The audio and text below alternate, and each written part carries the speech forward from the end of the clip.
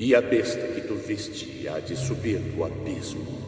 E os habitantes da terra se encherão de pasmo quando virem a besta que era e não é mais.